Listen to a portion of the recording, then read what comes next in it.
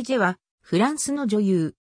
作家や脚本家としても活動していた。1944年に、当時のフランス領インドシナ、現在のベトナムのダラットで生まれる。父親は、ジョルジュ・ピジェ。広報学者で作家のエブリーヌ・ピジェは姉、数学者のジル・ピジェは弟。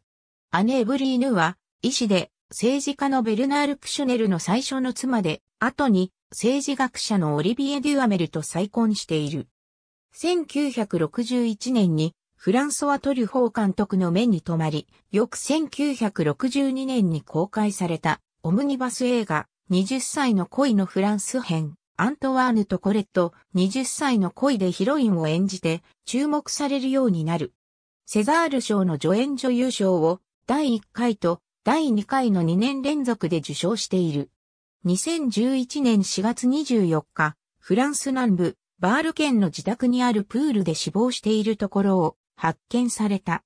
弁護士で後に政治家となるジョルジュ・キエジマンと1973年に結婚し、息子を一人も受けるが、1979年に離婚。その後、ビジネスマンのティエリー・ファイク・ブレンタノと再婚し、息子と娘を一人ずつ設ける。ピジェの遺体を発見したのは、夫のティエリーである。ありがとうございます。